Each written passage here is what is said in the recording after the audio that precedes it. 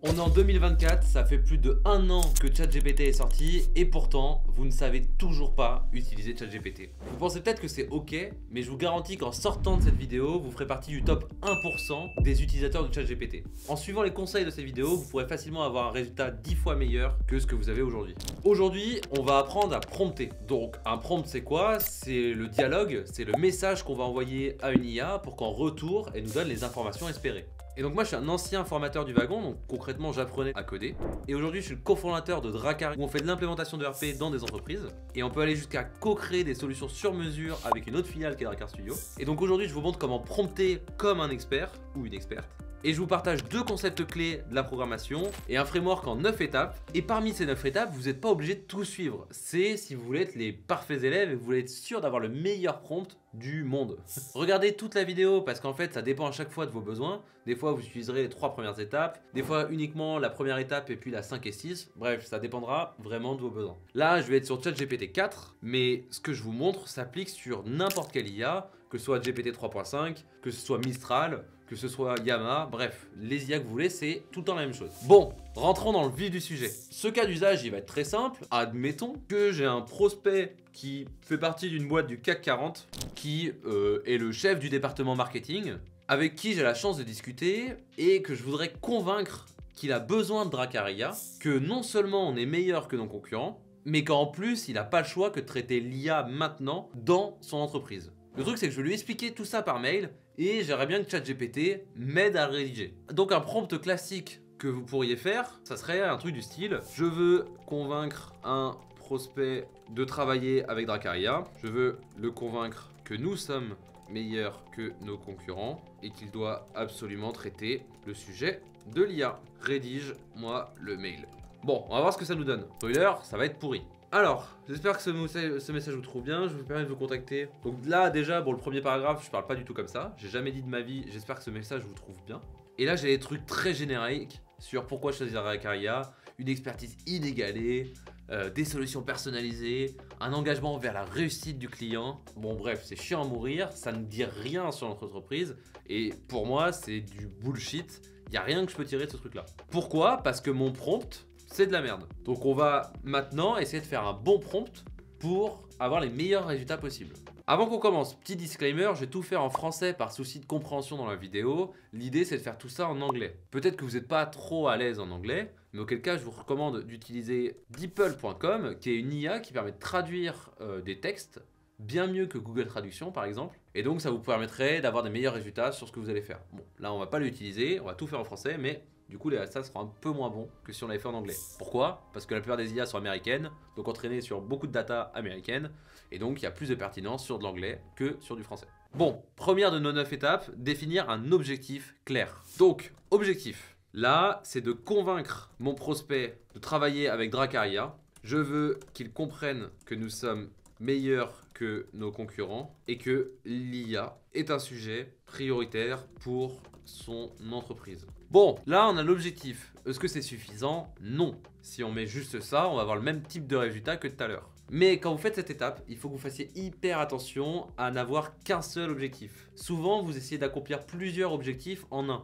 Par exemple, vous pourriez lui dire Je veux que tu me proposes une méthodologie d'accompagnement et qu'en plus, tu lui fasses une argumentation de pourquoi nous sommes les meilleurs. Mais en fait, là, il y a deux objectifs. Il faudrait faire deux prompts différents. En fait, ça, ça revient au SRP, au Single Responsibility Principle, qu'on a beaucoup dans le monde du développement informatique, où en gros, une méthode ne doit avoir qu'un seul objectif. Bah, c'est pareil sur un prompt, vous devez avoir qu'un seul objectif. Si vous en avez plusieurs, bah, faites deux prompts, même si je sais que ça peut être un peu chiant. Et donc là, j'ai un objectif, c'est convaincre mon prospect de travailler avec moi, et je lui donne deux pistes au sein de cet objectif. Bah, tu dois nous différencier et l'expliquer qu'il a absolument besoin de nos services. Mais l'objectif reste le même. Passons à la deuxième étape. On va lui donner un rôle. Donc là, c'est le rôle que l'IA va devoir jouer. Est-ce que c'est un assistant Est-ce que c'est un créateur de contenu Un analyste Le gérant d'une boîte L'idée, c'est de pouvoir orienter l'IA sur le type de guidance qu'on va vouloir avoir. Donc, prenons notre cas. Plutôt que lui dire que je suis le CEO de Dracar, qui va pas trop comprendre, on va lui dire qu'il est consultant IA et lui donner un peu plus de contexte sur Dracar IA. Donc allons-y, tu es consultant IA pour Dracaria. Dracaria est une filiale du groupe Dracar, un groupe qui fait de la digitalisation d'entreprise. Parmi le groupe, il y a Dracaria. Donc Dracaria, ça fait de la conférence audit et stratégie d'implémentation et formation et amélioration continue. Ensuite, je lui parlais rapidement de Dracar Studio, développement d'applications web et mobile sur mesure, et Dracar Accélérateur, Re-Engineering et implémentation de l'ERP Odoo. Donc là, pareil, essayez d'être le plus précis possible sur le rôle et d'amplifier. Là, typiquement, j'étais tenté de lui dire que c'était le CEO de Dracar, sauf que ça n'aurait pas apporté grand chose. Lui dire qu'il est consultant, je préfère. Et je lui ai volontairement pas dit commercial, parce que j'ai pas envie qu'il me fasse des trucs un peu ronds, un peu marketés. Je veux qu'il soit straight to the point. Je veux qu'il aille droit au but. Je veux beaucoup plus qu'il soit dans cette logique d'accompagnement. Troisième partie de ce framework, c'est l'audience. Donc là, l'audience, on pourrait dire que c'est la euh, directrice marketing d'une entreprise du CAC 40. Elle gère une équipe de, disons, 50 personnes et son équipe gère principalement de la création de contenu. Bon, là, je fais un truc un peu trop vague. En vrai, il faudrait que j'explique c'est quoi l'entreprise, qu'est-ce que j'entends par création de contenu. Mais vu que je prends pas une vraie entreprise. Donc maintenant passons à l'étape 4, le contexte. C'est hyper important. Là typiquement, dans notre cas d'usage, est-ce qu'on a déjà échangé avec la personne? Est-ce que c'est un premier contact? À quel moment intervient ce besoin-là? Et ça, ça va être clé pour orienter le résultat de l'IA. Donc là, le contexte, bah on va imaginer, hein, nous avons été mis en relation par Bob, un des employés de la directrice. Alors on pourrait la nommer, mais bon, on va arrêter sur les noms. Hein. J'ai eu un premier échange téléphonique avec elle et elle veut une première idée écrite de ce que nous pouvons lui apporter. Bon, c'est un peu bizarre euh, comme contexte. En, théorie, euh, je passe un peu plus de temps au téléphone à dialoguer. On essaie d'avoir une approche assez humaine quand on dialogue avec nos prospects et nos clients. Mais bon, pour le contexte de la vidéo, ça me paraît cohérent. Donc ça vous donne une idée du curseur. Et vraiment, ne négligez pas ce contexte. Ça va tout changer dans les résultats derrière. Donc maintenant, passons à la tâche. Alors là, on pourrait dire que c'est un peu comme l'objectif, mais là, on va être un peu plus précis. Là, typiquement, la tâche, c'est de rédiger un email détaillé qui commence par expliquer pourquoi l'IA est un sujet primordial pour eux, puis qui leur fait comprendre pourquoi nous sommes l'agence la plus adaptée à répondre à leurs problématiques. Ensuite, passons aux contraintes. Là, c'est les choses que l'IA va avoir le droit de faire ou ne pas avoir le droit de faire, les choses qu'on veut absolument qu'elle fasse. Est-ce qu'il y a des limites? Est-ce qu'il y a des règles? Bref, c'est là qu'on va spécifier tout ça. Et très souvent, il y a des contraintes. Bah, on va dire que je veux que tu tutoies la directrice et que tu aies vraiment une approche consultante et professionnelle avec un style direct. Je ne veux pas de discours de vente générique. Ok?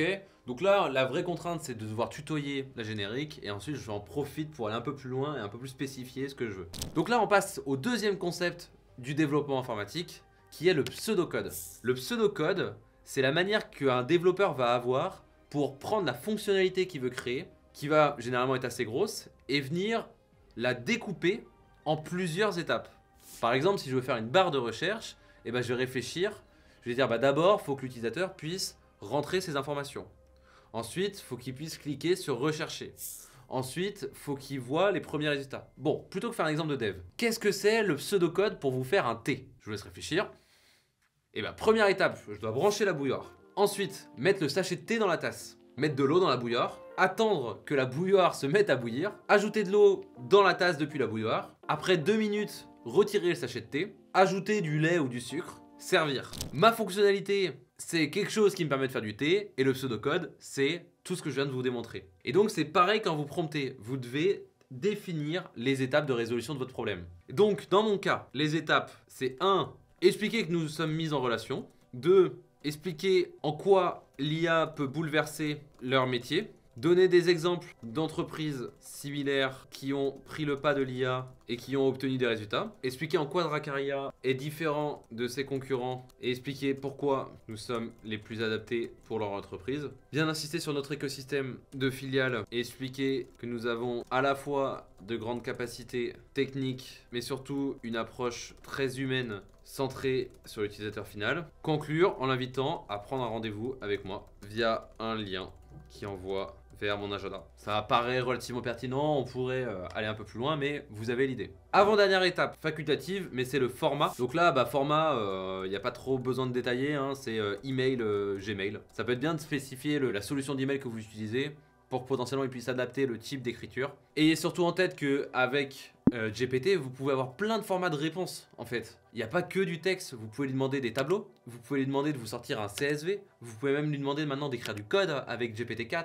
de vous générer une image, d'écrire en Markdown. Bref, il y a plein de formats possibles. Là, pour le coup, notre format est très simpliste. Et enfin, la dernière étape, c'est de lui donner des exemples. Donc là, c'est des résultats espérés ou alors c'est de l'orienter sur des idées que vous avez.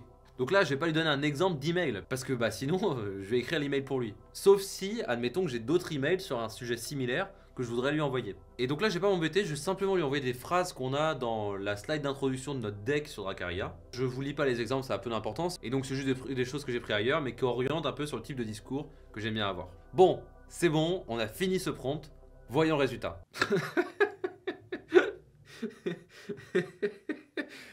voilà, c'est la fin de la vidéo. Enfin, sur Regenerate. Ok, donc là c'est hyper intéressant. Quand je lis les exemples, ça propose de redévelopper des IA, etc. Et il y a quelque chose que je ne lui ai pas spécifié, c'est que nous on prend le parti pris de très rarement redévelopper des propres IA pour nos clients. On sait le faire, on l'a déjà fait par le passé.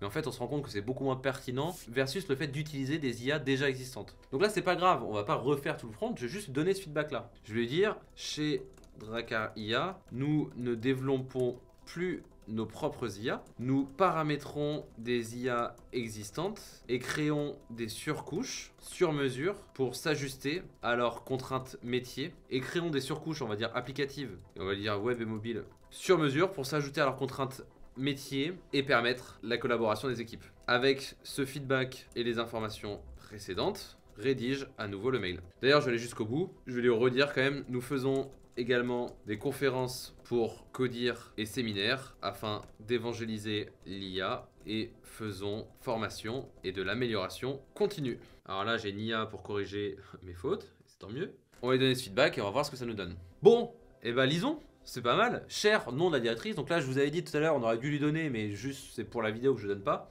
Notre première conversation et la recommandation de Bob m'ont permis de comprendre les enjeux uniques auxquels fait face votre équipe marketing. Donc là, mine de rien, on voit que le ton est bon par rapport à ce que je lui avais donné. On aurait pu avoir quelque chose de beaucoup plus corporate avec Chère madame, j'espère que ce mail vous trouve bien, etc. Et là, on est bien comme je voulais. Et donc là, j'adore la phrase d'après. Chez Dracaria, nous envisageons l'artificiel non pas comme une fin en soi, mais comme un moyen révolutionnaire d'amplifier la créativité et l'efficacité de vos campagnes. Et là, c'est top parce qu'on lui parle de son business et on met l'IA au service de son business et pas l'inverse. Ensuite, comme demandé, on parle de bah, en quoi ça impacte le monde du marketing, on parle d'analyse prédictive, de personnalisation et d'automatisation.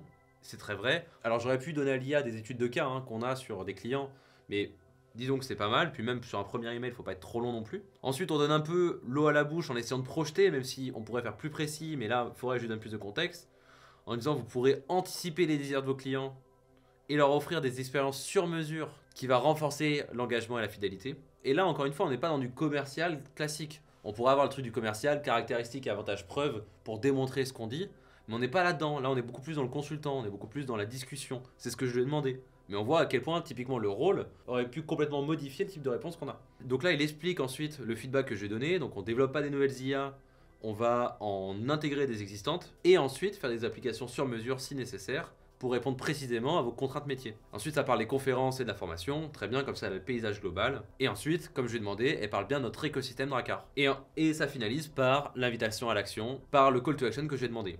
Franchement, moi je trouve ça vraiment pas mal. Alors sans doute, vous vous dites, mais il vient de passer 20 minutes à écrire le truc. Il aurait peut-être pu faire son mail lui-même, ça lui aurait pris 20-30 minutes oui, sur un email, mais en réalité, je pense que ça aurait pris minimum une demi-heure. En fait, ça me fait gagner un peu de temps. Et il faut avoir en tête qu'aujourd'hui, l'IA, tel qu'on y a accès, ça réduit la pénibilité du travail en moyenne de 15%. C'est une stat de McKinsey. Donc en fait ça nous fait gagner un peu de temps, c'est pas encore révolutionnaire. Mais il faut avoir en tête que plus ça va aller, plus on va aller dans l'automatisation totale. C'est pour ça que McKinsey pense toujours que 70% des jobs tels qu'on les connaît aujourd'hui vont être automatisés. Et donc ce que je voulais faire avec cette vidéo c'est de vous montrer les bases pour que derrière vous puissiez aller beaucoup plus loin quand je vais vous montrer l'automatisation etc. Parce que la base ça sera toujours le prompt. Et voilà pour ce modèle de prompt. Félicitations, vous faites partie du 1% des utilisateurs d'IA dans le monde. Maintenant, s'il y a des personnes qui viennent vous voir en disant hey, l'IA c'est nul, c'est pas adapté, etc., vous pouvez lui dire mais Michel, c'est juste que tu sais pas prompter et lui montrer cette vidéo. Merci beaucoup d'avoir regardé cette vidéo jusqu'au bout, j'espère qu'elle vous a plu. Si c'est le cas, vous pouvez vous abonner pour ne pas louper les prochaines. Si jamais votre entreprise a des besoins en IA, et eh ben vous pouvez me contacter sur le site dracar.io et on prendra du temps pour échanger sur vos problématiques. Rendez-vous dans une semaine pour la prochaine vidéo. D'ici là, prenez soin de vous. Ciao